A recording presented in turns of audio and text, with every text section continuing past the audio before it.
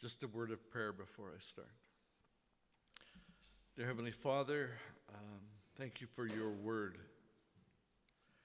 Thank you that from it we can draw truth and that, that, that truth is practical, it's helpful. We learn from it that you love us, and then we learn how that love, uh, in practical terms, um, affects us. And Lord, as we listen to your voice this morning, I pray that you would teach us uh, about your love and how it affects us. Lord, be with my words, bring power to it and clarity that might not be there uh, under my own strength and wisdom. I pray that in the name of Christ. Amen. So, two weeks ago, uh, I preached this sermon on guilt, and I said something that uh, might sound counterintuitive that, that guilt is a gift, that guilt is like a spiritual and emotional nerve ending, um, that it, when we're doing something wrong and we don't feel guilty, and uh, that that is uh, th- that we become a sociopath then. Uh, the memory of guilt is what keeps us from doing the same things over and over again, the same mistakes that cause us pain. And I use the example of stubbing your toe. That stubbing your toe is painful. And we don't want to stub our toes. So, what we retain is the memory of the pain. And that is a little bit like guilt we remember what it's like to feel guilty. We remember what it's like to feel that pain. And it warns us and directs us away from the things that we do that, that cause us pain. And still, we still do often the same thing over and over again. We do not learn very easily, even though the things that we do cause us pain. We're not in pain now. You don't have a, a, a pain in your toe, but it is the memory of the pain that keeps us from stubbing our toes again and being careful. If we're still experiencing the pain of guilt, then we need to let it go because the promise is that we are under Christ, we're washed clean, we're guiltless. We're, we're, we're, we're guiltless. We need to experience the grace and forgiveness of God. So that was the previous sermon. And it was spectacular. Let's face it. Come on. so this this week I want to deal with this subject of fear. And the subject is a little bit the same. Pain keeps us from doing painful things and damaging ourselves, and, and fear is a little bit the same. Uh, it's similar in that there are things that are fearful, there are things that we should fear. There's no doubt about that. The problem is that we live in fear of things that we shouldn't live in fear about.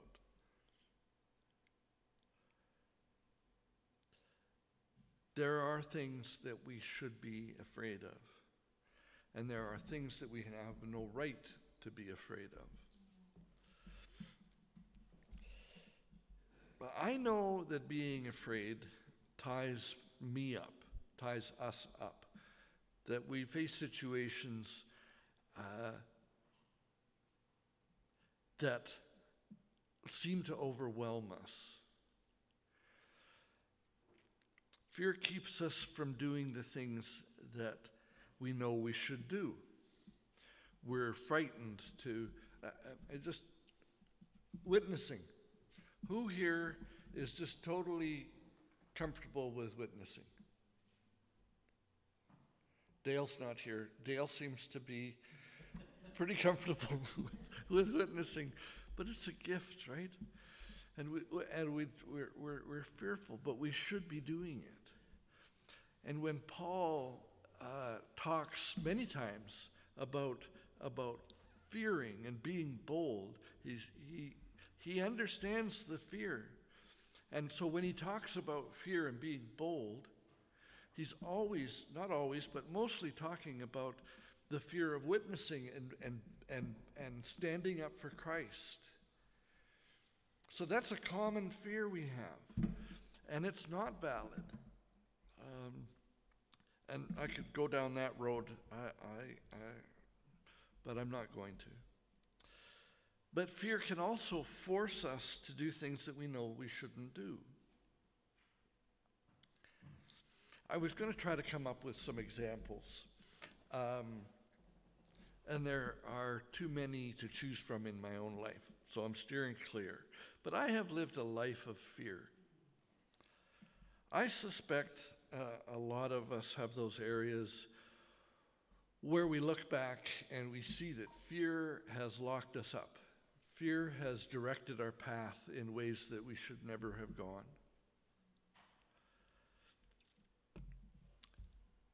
Fear has kept me from doing many, many things. And that fear has also kept me um, responding poorly to many situations. Um, so I want to apply this to a specific area of life, more as an example, but um, but it's it's one that we all we all share we're social animals. And uh, this is the area of relationships. Um, we learn from an early age that every relationship we enter has the potential of being hurtful. You know, when you're a kid and you try to make friends and you get rebuffed, well, that hurts. Or, and, it, and then it goes from there. It goes from there. It goes from there. And we learn, we learn to fear people. We learn to fear uh, uh, being honest with people. There's just so many things that bind us up. From the earliest age, we are learning these things. So, what we do is we learn to protect ourselves. Out of fear, we build walls. Um, we learn to act disingenuously, which is a word. We learn to avoid relationships. We learn to control, to be in control of our relationships so that nobody can hurt us. We learn to hide ourselves in relationships even in the church, I've noticed, i have been in the church my whole life, and I've observed the way people put on this mantle of godliness and stuff when they're at church. They, they, they learn the language, they learn how to act holy because they're afraid of being judged. And we do that all the time. We do all this because of the fear we have in experiencing pain.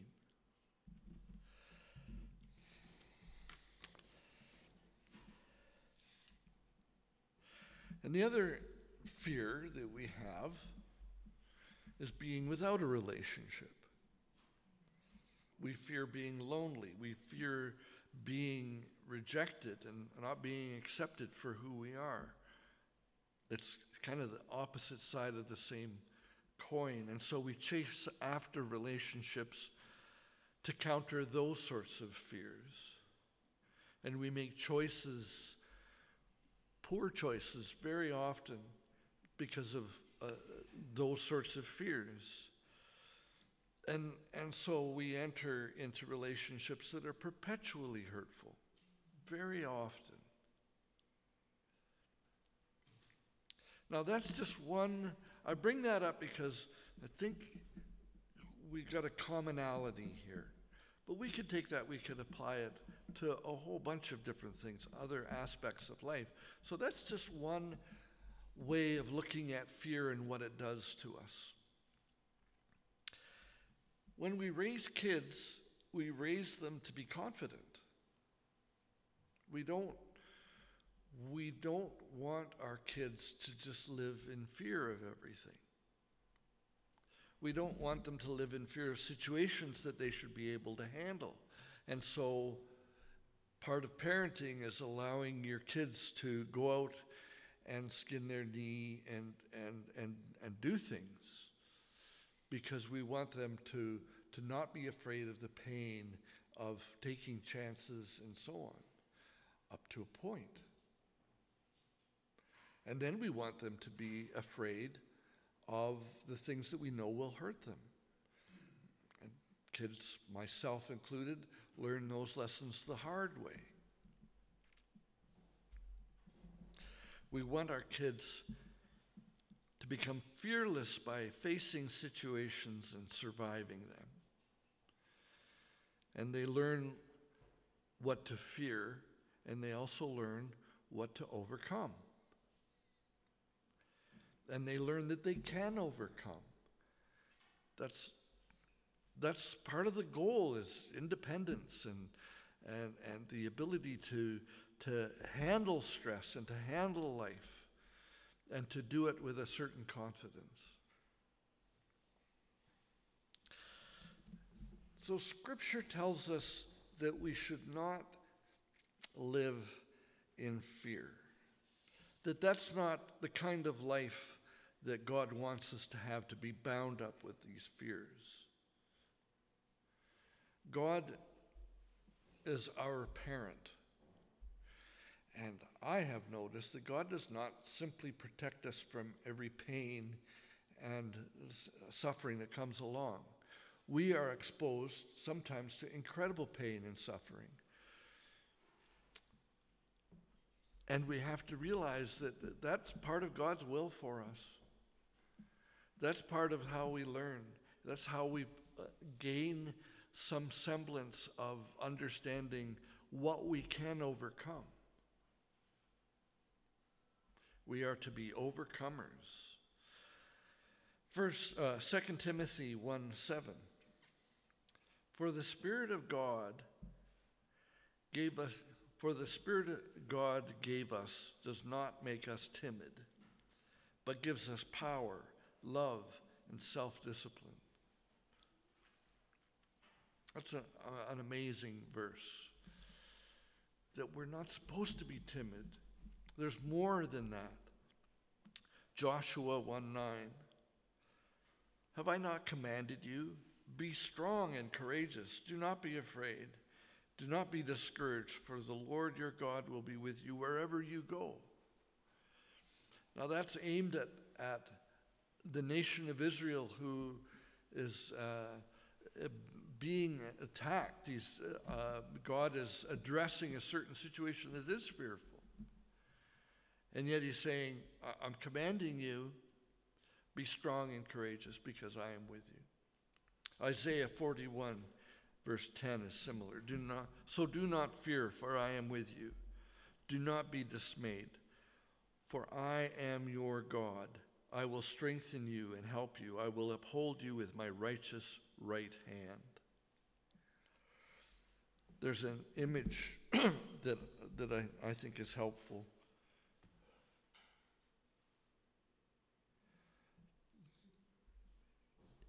There, there are people with clubs about to hit us. But there is safety in a mother bear protecting her cup. And that is the kind of comfort that we are supposed to have.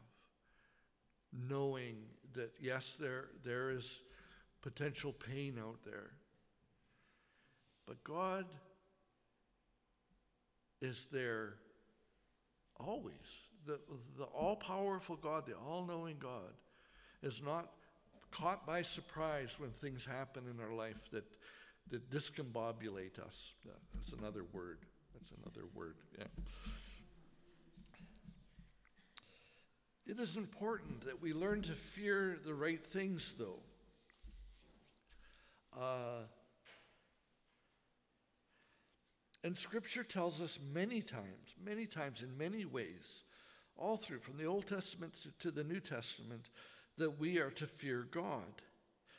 And Jesus tells us this in, this in the starkest terms. Uh, Luke 12, verses 4 and 5. I tell you, my friends, do not be afraid of those who kill the body, and after that can do no more. But I will show you whom you should fear. Fear him who, after your body has been killed, has authority to throw you into hell. That's pretty stark. That's pretty abrupt. But there's truth there. Now, years ago, uh, I preached a sermon um, in this church about fearing God.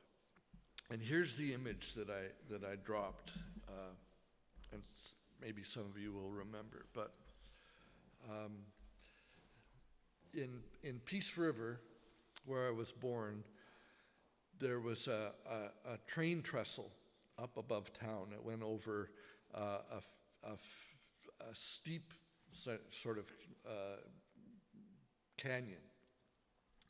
And we used to have uh, picnics in a picnic ground above where the, where the trestle was. And we were told not to ever go out on the trestle. And I don't know whether people made this up to scare us, but there, there had been apparently a couple of kids that were out on the trestle and the train came and they couldn't make it off and they, they, they were killed. Now that's kind of a probably not true, but at the time, right, that's, it put an indelible, uh, that's a word too, uh, uh, image in your head. Now, the safe thing to do if you wanted to get to the other side was to climb down the trail that went down to the creek and, and, and, up. That's the safe thing to do because you don't have to worry about the train. But why do you go to the extra effort of walking down the trail and up the other side? You do it not because you live in fear of the train, but you do it because you fear the train. Do you, do you, you get it? That we're, it's like when you're walking home or, or when you're walking along the street, uh, uh, do you fear the traffic? No, you're on the sidewalk. Why don't you walk in the middle of the street? Because you fear getting hit. You have a fear of cars, but you don't have the fear of cars when you're not in their way. So I think that is what it means to fear God. Not to live in fear of this, this ogre who's going to punish you and, and, and so on. But the only reason we can live without that fear is by having a right relationship with God and understanding His grace. Now, that was 12 years ago or 13 years ago or whatever that I preached that. There's another image that I want to put out there regarding fear. And it's another bridge. And this is a pedestrian bridge. And God tells us to walk on the pedestrian bridge because there's lions and tigers and bears down there and cliffs and there's snakes and and spiders that are this big and and we should not walk down into that we should walk along this narrow pedestrian bridge because that's the safe thing to do. And when we're on that safe thing we're safe. We're, when we're on that. Because walking the way of God, walking the path that God wants us to, if we're doing that, is safe. So, do you understand the, the, one is the fear of God that keeps us from walking on the bridge, the other one is the fear of life and dangerous things by walking along the straight and narrow. Did I confuse everybody there? I think it's an important image to keep in your head when it comes to fear. There are things out there that are fearsome that we should be avoiding. And we've all watched people uh, go down into that valley and get beat up and stung, and the, the, the, the spiders, especially. Just, um, but it, it's hurtful down there. And walking along that, that pedestrian bridge is where we should be. Because when we do that, we're free of fear. I hope that I hope that that that image you can keep in your head. After we learn uh, to fear the right things, then we can live without being bound by fear. And this is the main point I'm trying to, to make here. The Bible uses this phrase, fear not, so many times. Uh, we're not supposed to be living in fear. You think about it. I mean, we're all different. We all have those areas that terrify us. We're not supposed to be living in fear. We're supposed to be free of fear. We're supposed to be making sure that fear does not bind us up and stop us from doing what we should be doing.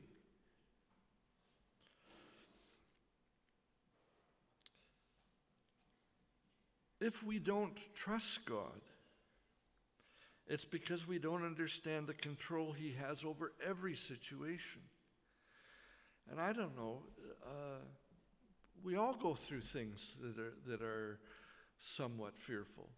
Uh, you know, this isn't a great example because I don't fear it, but you know, I got laid off on Monday, and um, so now my situation changes, and I'm, you know, it's not ex- unexpected, but there have been times when I have been laid off, or the situation changes, and and and there's that deep that deep dread of what's going to happen next. What's the future going to be like? How am I going to cope with this future?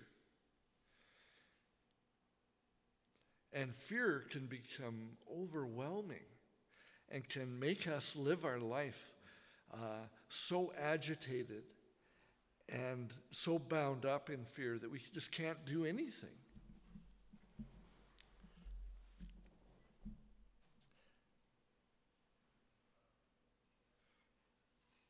Are supposed to be fear, free from fear.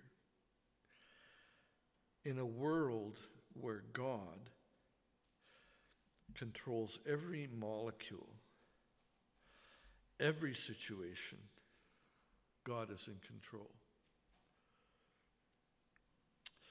I remember a particularly bad um, time in my life when, when I was living out in New Brunswick. I had been working for a denomination um, somewhat for, and, and they had, some people had promised me a job. I'd been working out there for over a year and I never got paid during that year. Um, I was trying to renovate a house and th- things went badly there and uh, just everything was collapsing. I was watching all my money just float away. And I had come out to see my dad uh, not long before he passed away. And uh, he was driving me to the airport, and he knew what I was going through. and there's this song. Uh, God will take care of you. He will take care of you. God will take care of you. It, it, it's an old song. But he was singing that to me on the way to the airport. And I, I have never forgotten that. That, that was uh, his word to me to try to settle me and to have a perspective. And I think of that all the time, of him singing that song, because it's true.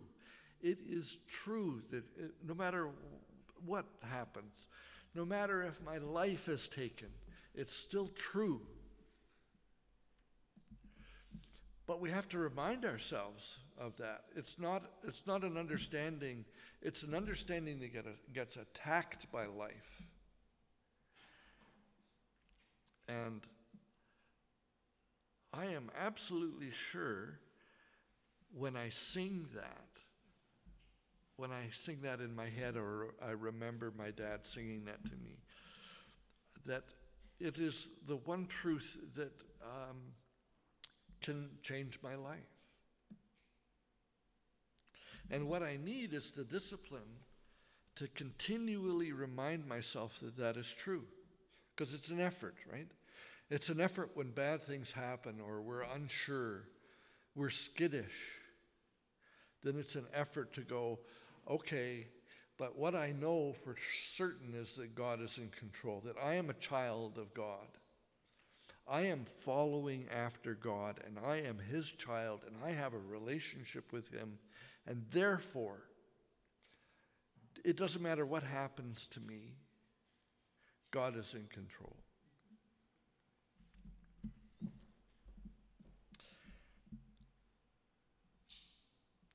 I want to finish by using a, a, a stark contrast. We Christians believe that death is going to be overcome. We believe that when we die, that that is not the end, and that we will overcome death by the power of Jesus. When we get baptized, we we are dead, we're buried, and we're resurrected. That's the symbol. And we hang on to that. That is our hope. Without it, nothing else matters. Death is going to be overcome. And we have this hope of resurrection. Therefore, the fear of death, Paul calls it the sting of death should not bind us. If we can believe that, that death can be overcome, not by our own effort, not by anything that we could do, that death is going to be overcome, then we should be able to believe that a minor thing like a disaster, like opposition, like bad health, like poverty, all these things are nothing to God. God can fix them in an instant. Death is uh, this massive thing that everybody is afraid of death. But we shouldn't be. But it is an enemy, it is a powerful enemy. And God, through Jesus, has overcome death. And if he can overcome death, then he can overcome whatever you're going through. Death is no small thing. And we trust God that he can take care of that big thing. And we learn we need to learn to trust him in the small things that only seem big to us. Amen. Dear Heavenly Father, you are so gracious to us. You are powerful. And our problem is that we just have, have such a hard time seeing you clearly, seeing your glory, seeing your power. We have such a difficult time with that. Lord, teach us to see you for who you are in your majesty, so that when we sing your praises, we're overwhelmed by the power you have and by the love you have for us, Lord. That you are watching over us, you are on our side. And yes, you do let us deal with sometimes horrible things. You allow us to skin our knees and stub our toes. And yet you're right there loving us and caring for us. Lord, help us to truly understand who you are in relationship to us. I pray this in the holy and powerful name of Jesus Christ. Amen.